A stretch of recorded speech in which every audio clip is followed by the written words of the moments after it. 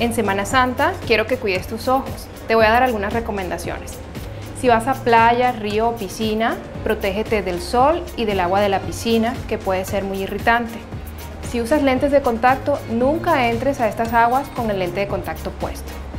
Es importante que te cuides mucho del sol.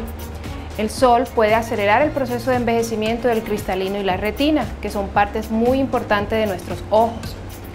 Para esto debes usar una gafa oscura. La gafa debe tener realmente un filtro para las radiaciones ultravioletas del sol. Finalmente, si notas algún enrojecimiento, sensación de cuerpo extraño después de estar en contacto con playa, río, piscina, sol, acude al oftalmólogo.